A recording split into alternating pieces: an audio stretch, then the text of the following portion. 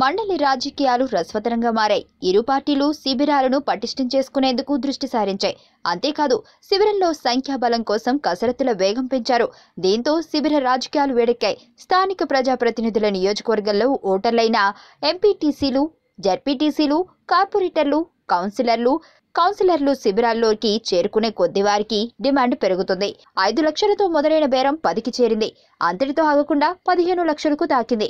తాజాగా ఇద్దరు స్థానిక ప్రజా ప్రతినిధులకు నలభై లక్షలు బేరం కుదిరినట్లు తెలుస్తుంది.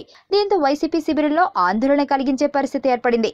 ఇటీవలే వైసీపీ శిబిరంలో జమ్మలమడుగు నియోజకవర్గానికి చెందిన ఇద్దరిని టీడీపీ నాయకులు తీసుకురాగా తాజాగా మరో ఇద్దరు కమలాపురానికి చెందిన స్థానిక ప్రతినిధులను వైసీపీ శిబిరం నుంచి తీసుకురాగలిగారు.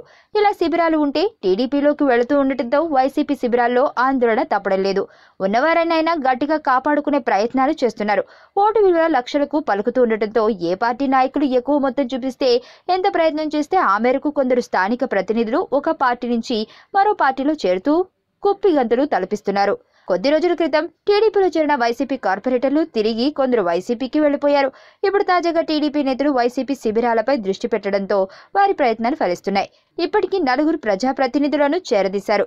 రేపో మాపో మరో ఇద్దరిని వైసీపీ నుంచి టీడీపీలో చేర్చుకునేందుకు రంగం సిద్ధం చేసుకుంటున్నట్లు సమాచారం. ఇలా సంఖ్యాబలాన్ని ఐదు వందలకు చేర్చుకునే ప్రయత్నంలో టీడీపీ ఉండగా వైసీపీ కూడా వ్యూహాత్మకంగా వ్యవహరిస్తూ లోపల మద్దతును కూడగట్టుకునే ప్రయత్నం చేస్తుంది.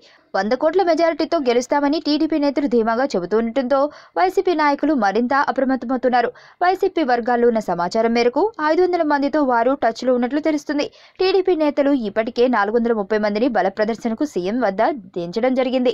ఈ ప్రకారం అయితే నాలుగు వందల వరకే వైసీపీ వద్ద ఉండాలి. అయినా కూడా ఆ నేతలు యాభై నుంచి ఎనభై ఓట్ల మెజార్టీతో గెలుస్తామని చెప్పుకురావడం చూస్తుంటే ఎవరి లెక్క ఏమిటో ఎవరి వ్యూహం ఏంటో అర్థం కాని రసవత్తర పోటీగా మండలి పోరు ఉత్కంఠ రేపుతోంది.